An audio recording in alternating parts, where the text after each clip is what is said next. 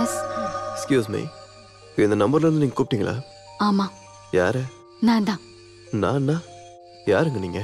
அந்த கன்னத்துல இன்னும் என் கையோட அடையாளம் இருக்கும். My Jesus I just can't believe it சொல்லுங்க. என்ன விஷயம்? நான் உங்களை இப்போ பார்க்கணும். ஒய் நாட் எங்க வரணும்னு மட்டும் சொல்லுங்க. Within five minutes I'll be there no no இப்போ ஒன்றும் இல்லை. டுமாரோ மார்னிங் நம்ம முதல் முதலா பார்த்த அதே இடத்துல. வருவீங்கல்ல? ஷியோர் யா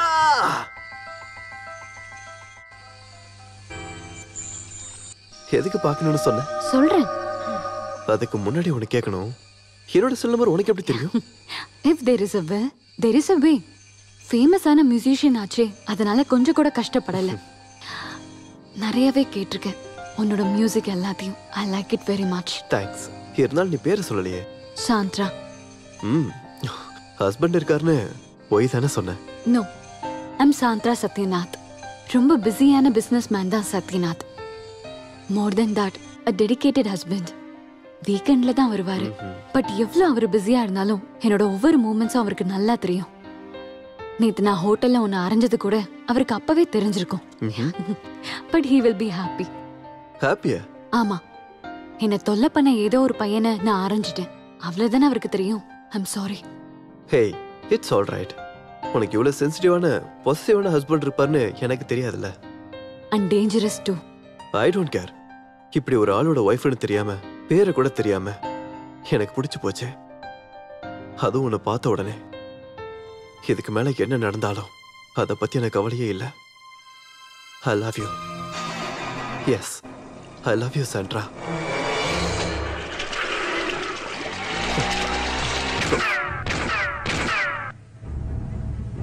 Seventy percent.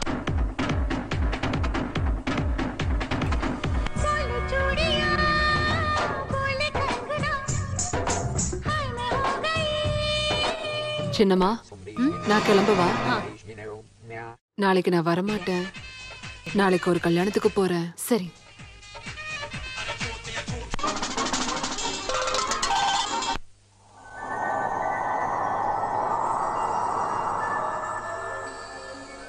ஒருத்தரோட ஒய்ஃப்னு தெரியாம உன் பேரு கூட தெரியாம எனக்கு ஒன்று பிடிச்சு போச்சு. அதுவும் உன்னை பார்த்த உடனே. I love you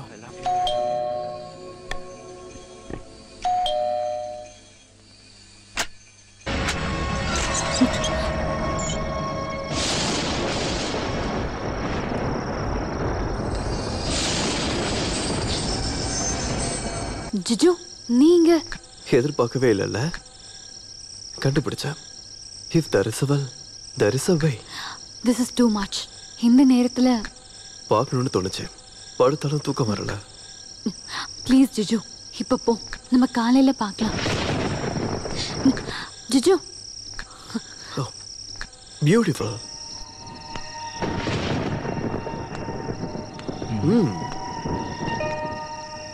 you play this எப்பயாவது. அப்போ நான் உன்னை கேட்கட்டேன் உனக்கு மியூசிக் பிடிக்குமா? மியூசிக் தான் என் obsession but medicine payload my music ஆமா சங்கீதத்தை என் மருந்து முழுங்கிடுச்சு. That to up to hear நீ சொல்றது புரியல. சங்கீதத்தை மருந்து முழுங்கிடுச்சா? You seem to upset yes I am Juju it's better you go now. நான் தான் சொல்றேன்ல நம்ம அப்புறமா பார்க்கலான்னு. என்ன? உனக்கு பயமா இருக்கா? ஆமா பயமா இருக்கு. என்ன பார்த்தே பயம் ப்ளீஸ் ஜிஜு ப்ளீஸ் கோ நீ சொன்ன மாதிரி எனக்கு ஒரு கப் செஷன்ஸ் இருக்கு சங்கீதம் அப்புறம் இந்த சௌந்தர்யம்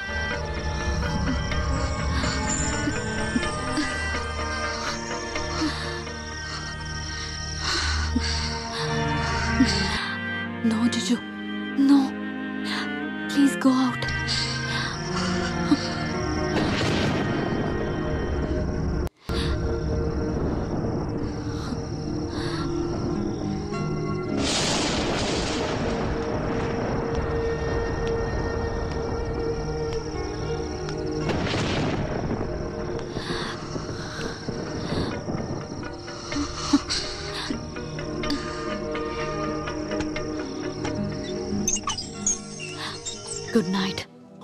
Soundara open the door Soundara Soundara please கதவை தர சௌந்தரா கதவை தர ப்ளீஸ் சொன்னா கேளு. நான் உன்னை விட்டுட்டு போக மாட்டேன்.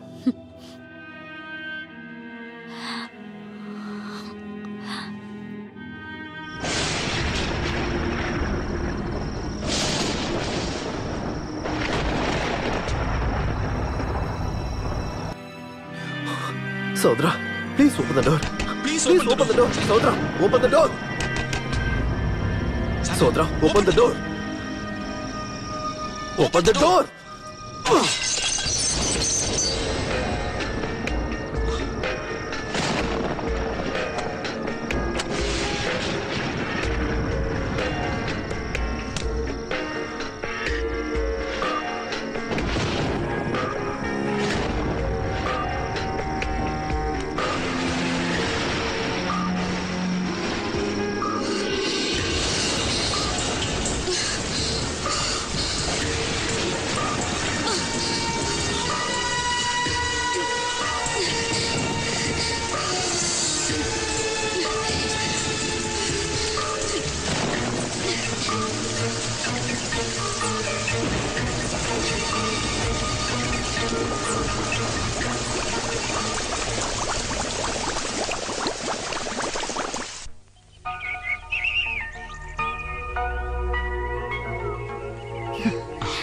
என்னை இவ்ளோ பிடிக்கிறதுக்கு என்கிட்ட அப்படி என்ன இருக்கு? தெரியல.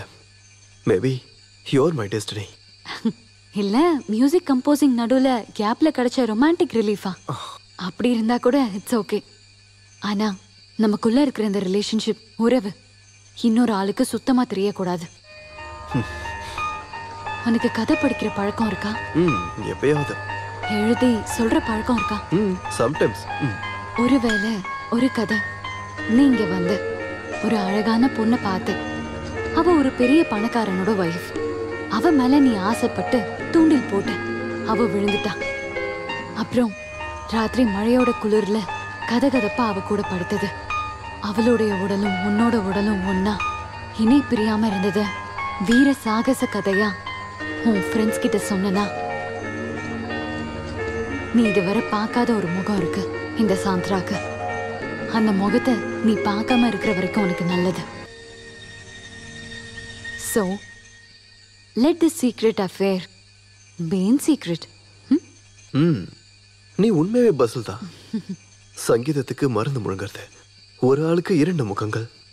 எனக்கு உண்மையை மட்டும் சொல்ல. எனக்கு உண்மையாவே புரியல. நீ யாரு? யாரா? சாந்த்ரா. சாந்த்ரா சத்யநாத். அதுக்கு முன்னாடி சாந்த்ரா கிறிஸ்டபர். கிறிஸ்டபரா? ம். கிறிஸ்டபர் ஜான் ஃபேமஸ் பியானிஸ்ட் கேள்விப்பட்டிருப்ப ஆமா அவர் இறந்துட்டார்ல? ஆமா. ஆங்கிலோ இந்தியனா இருந்த கிறிஸ்டோபர் ஜானோட வாழ்க்கைக்குள்ள குடியேறின ஒரு பெண் சாவித்ரி மேனன். ஒரு நல்ல குடும்பத்துல பிறந்து கவிதையையும் சங்கீதத்தையும் எழுதிட்டு இருந்தாங்க. அவங்க எப்பயோ ஒரு நாள் கிறிஸ்டோபரை பார்த்தாங்க பழகுனாங்க நெருங்குனாங்க. ரெண்டு குடும்பமும் எவ்வளவோ எதிர்த்தும் அவங்க ஒன்னா வாழ்ந்தாங்க. சாவித்திரிக்கு குழந்தை பிறந்தது. ஒரு பெண் குழந்தை. இந்த சாந்த்ரா தான் அது. அப்பாவோட சங்கீதமும் அம்மாவோட கவிதையும் கேட்டு பதினாலு வயசு வரைக்கும் கஷ்டம் எதுவுமே தெரியாம நான் வளர்ந்தேன். அப்பா எனக்கு சங்கீதத்தை கத்து கொடுத்தாரு. காஸ்ட்லியான பலவிதமான ட்ரெஸ்ஸஸ் அம்மா எனக்கு வாங்கி கொடுத்தாங்க. அப்புறம் அதுக்கப்புறமும் அம்மா அப்படியே தான் இருந்தாங்க. அம்மா இப்படி தாராளமா செலவு பண்றது அப்பாக்கு சுத்தமா பிடிக்கல. வரவை விட அதிக செலவு. அம்மாக்கும் அப்பாக்கும் என்னைக்கும் சண்டை தான் ஒரு நாள் வீட்டை விட்டு கிளம்பி போன அப்பா திரும்ப வந்ததுக்கு அப்புறம் பார்த்தது நிறைய ஸ்லீப்பிங் பில்ஸ் போட்டு சூசைட் பண்ணிக்கிட்ட அம்மாவை. அது அப்பாவை ரொம்ப நொறுக்கிடுச்சு. அதுக்கப்புறம் குடி. முழு நேரமும் வீட்டில் இருக்கிற பொருள் எல்லாத்தையும் ஒவ்வொன்றா வித்து அவர் குடிக்க ஆரம்பிச்சாரு. நோய்வாய்ப்பட்டு ஹாஸ்பிட்டல்ல அட்மிட் ஆகி அப்பா இறந்துட்டாரு. நான் தனி மரம் ஆயிட்டேன் ஒருவேளை சாப்பாடுக்கு கூட கஷ்டப்பட்ட நாட்கள் எல்லாத்தையும் விற்க வேண்டியது வந்தது. என்ன தவிர எல்லாம் அப்பாக்கு ரொம்ப பிடிச்ச பியானோ வரைக்கும். அப்புறம்? இருந்தும் இந்த சாந்திரா தோத்து போல நாலு மடங்கு திரும்ப விலை கொடுத்து நான் அப்பாவோட பியானோவை திரும்ப வாங்கினேன். ஹால்ல பார்த்தல அந்த பியானோ தான் அது. எங்க? சொல்றேன். அப்புறம். நீ வரியா என் கூட? எங்க? தெரியல. போலாம். எங்க வேணும்னாலும். அ பிளசன்ட் அவுட்டிங் ரெண்டு மூணு நாளைக்கு. ம்? எஸ்